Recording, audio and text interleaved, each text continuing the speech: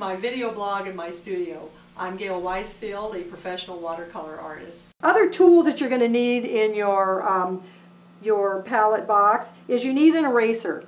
The only eraser I use is the kneaded blue eraser. This eraser doesn't damage the fiber on your paper when you erase with it. It lifts up all the debris and it leaves a clean surface where you don't have the little particles, eraser particles, trapped in your paint. Also, you can erase through the paint and oftentimes lift the, the graphite from the paper uh, even as you, after you've painted the painting. This is another fun tool I enjoy. It's a Mr. Clean eraser and it's a great tool for lifting uh, pigment after it's dry. Everyone should always have a sprayer, different size sprayers. I use a sprayer for keeping my paper moist. I use it to add texture. I use it to soften spattering. The sprayer is a very handy tool and you should always have that. Then you can carry table salt, instant coffee, lots of other fun things on that line. A pair of scissors is helpful, uh, and a roll of masking tape. So when you arrive to class, my suggestion is bring everything. You never want to be the person who is always borrowing or is held up because they don't have the things that they need. Well, when I go on a workshop, this is some of the tools that I find convenient to take, and I think that uh, the better prepared you are, the better time you have. So I generally always find a nice carrying case, and I love this carrying case.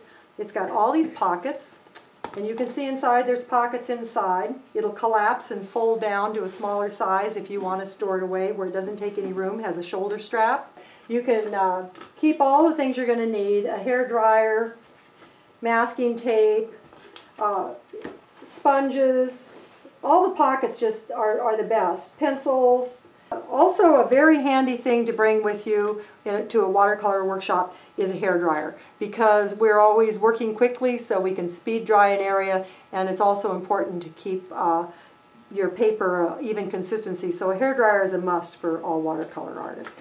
Also to have a nice uh, portable container for your water is very important and sometimes it's helpful to have two. Plastic containers are more useful because obviously they don't break. So when you come to a workshop, uh, a few items that are really nice to have is an apron with lots of pockets so you don't lose your brushes and you can find things.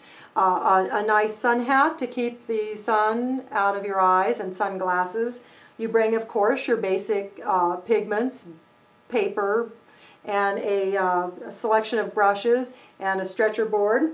I find um, it's very helpful to bring some matches to open those uh, tough tubes of paint and my Mr. Clean eraser, my salt, my sprayer, and of course uh, a good sketchbook is very important. And it's also important for you to bring a roll of paper towels because not everywhere has paper towels. You're going to need something to dry your brushes and work with. And um, little masking tape, and, and then of course the evening's entertainment.